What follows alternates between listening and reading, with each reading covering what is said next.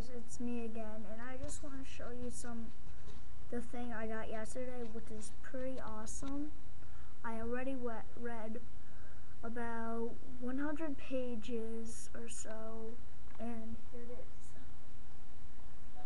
I got Diary of a Wimpy Kid Cabin Fever. I'm almost done with it. I think I would finish it by tomorrow or so but it's really good.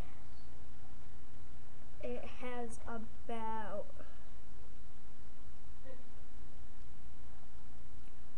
two hundred and seventeen pages, and I am on one hundred and sixteen right now.